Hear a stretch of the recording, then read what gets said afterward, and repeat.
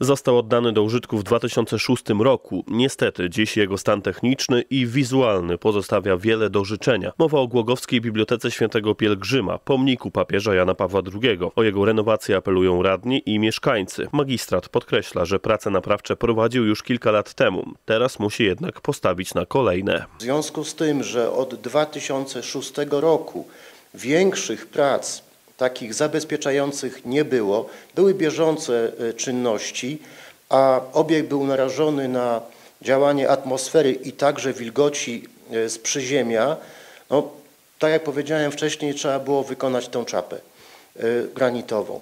Co planujemy? W najbliższym czasie musimy uzupełnić spoiny, i wykonać y, remont y, oświetlenia. Największym problemem są jednak cytaty, które wygrawerowane zostały na cegłach. Niektóre z nich odpadły, inne są niekompletne, a kolejne ledwo się trzymają. W ratuszu na razie pomysłu na to nie mają. Tutaj y, cały czas, no można powiedzieć praktycznie od samego początku, czyli od roku 2006 widzimy tą degradację cegieł, odpadanie lica tych cegieł, czyli miejsc, gdzie te cytaty się znajdują. I, I to nie tak, że my ciągle myślimy, my robimy y, dużo zabiegów na tym obiekcie, ale być może przyjdzie moment, kiedy trzeba będzie znaleźć technologię, być może y, y, te lica ścian obłożyć płytkami ale nie chcę tutaj w tym momencie decydować. Oby tylko Głogowski ratusz znalazł sposób na odnowienie cytatów z papieża Polaka jak najszybciej, bo wkrótce nie będzie można przeczytać w całości ani jednego.